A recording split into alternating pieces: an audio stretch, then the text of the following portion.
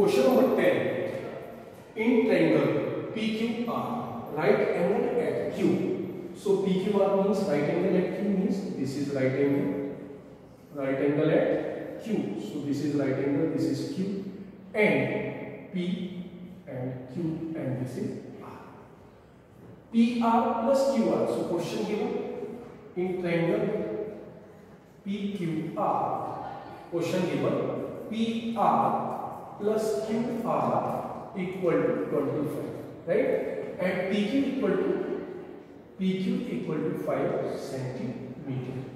PQ, so this is 5 centimeter, and PR plus QR, this is 25 centimeter, right? So then PR solution question given PR plus QR equal to 25 centimeter, right? Then PR, PR. So now PR equal to 25 minus QR. Clear, one. So PR equal to 25 minus QR. Clear? 25 minus QR. And question become PQ 5 centimeter. Okay. Then QR. How to find QR? right? So, we know that in triangle PQR, in triangle PQR, solved by Pythagoras theorem. So, Pythagoras theorem hypotenuse square means PR square, PR square equal to perpendicular square PQ square plus base square. PR square is 25 minus QR whole square equal to bend of P Q five square plus Q R square so solve by a minus b whole square down that so a square means 25 25 square means 625 2ab 2a means 25 and qr so 2 25 50 qr plus b square means qr square equal to 5 square means 25 plus qr square. Clear? Then transfer the number on one side, then transfer. So 625 minus 25 and q are q are correct. Then equal to 50 q r.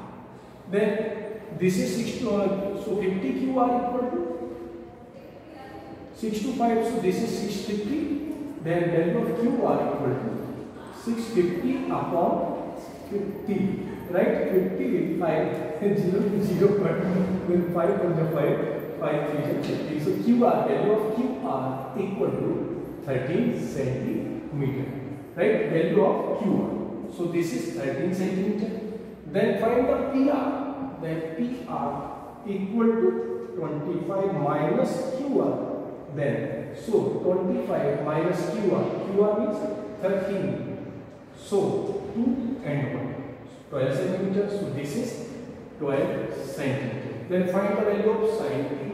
Sine p. Sine p. So this is theta. Sine p. So p, q and r. So this is perpendicular.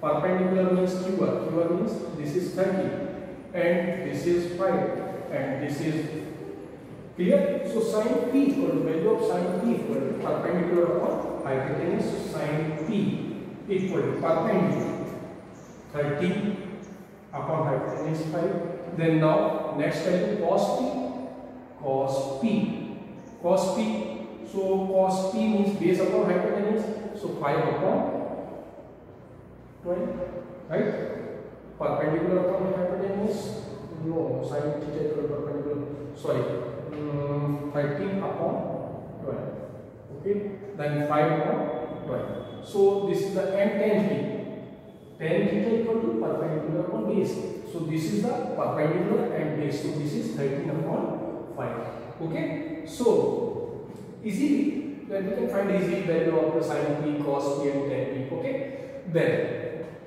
so that's your question number 10 is over then my dear friends then question number eleven state whether the following are true और false justify your answer so I think the value of ten is always less than one आप इसको solve कर लीजिए less than one होती है क्या no that is false then second one pause sorry set equal to for some value of angle a तो इसको भी आपको बता सकते हैं भाई इस फिगर के बारे में सब बता सकते हैं Okay, so my dear friends, you have already studied uh, exercise 8.1 all question. Then I hope that you will solve um, question number 11, true, false, false, true. Okay, then you are not capable, then you ask me.